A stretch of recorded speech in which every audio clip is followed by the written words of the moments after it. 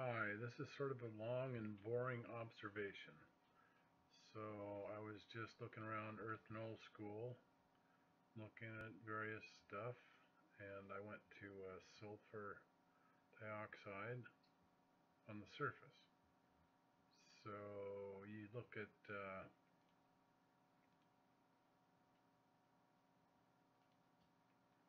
the map, here you got northern South America,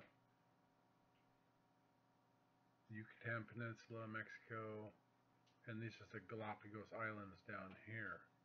Now, why is all this coming up?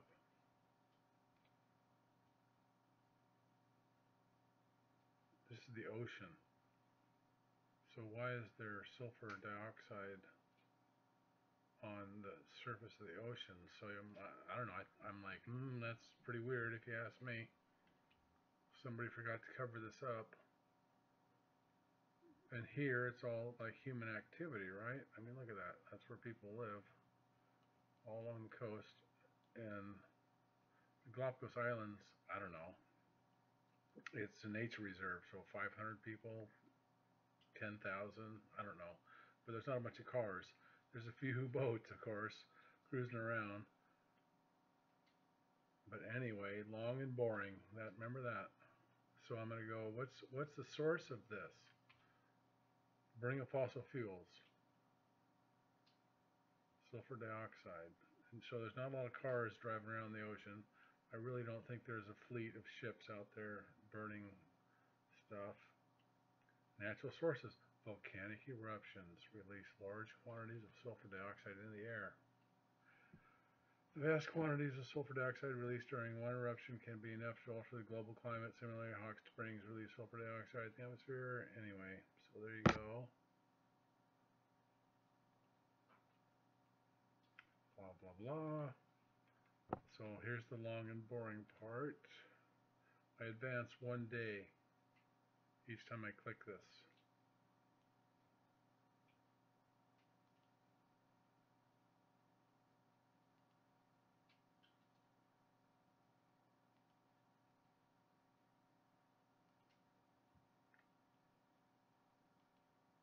I didn't go back anymore because uh, you don't want too long a video. But it just stays there and dissipates, whichever way the wind's blowing.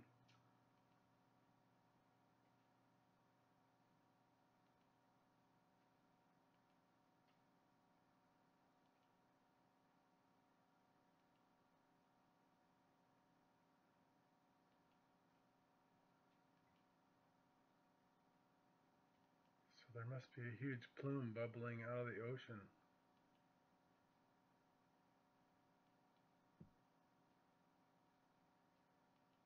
Where would this all come from? It's not Mexico City, which is here, I believe. No, it's not Mexico City.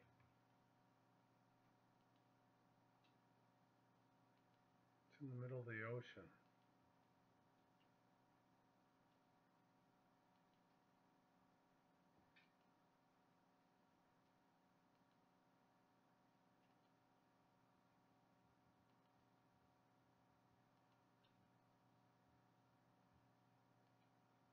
So it seems to be right here at this grid hex, basically right there. Whatever's going on.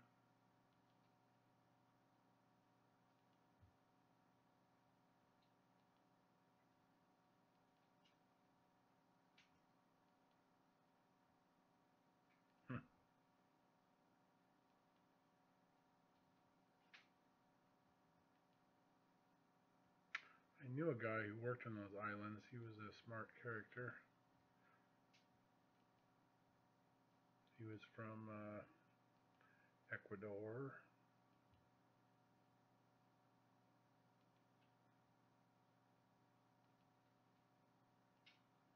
He is from Ecuador.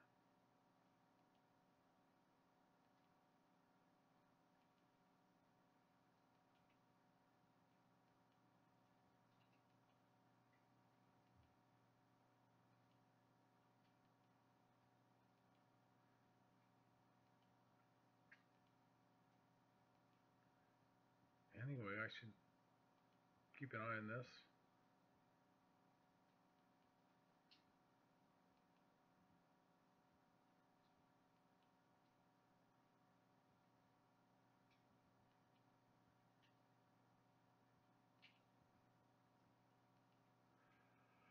I don't know, maybe NASA is slowly releasing stuff so they can say, oh yeah, we've told you the whole time.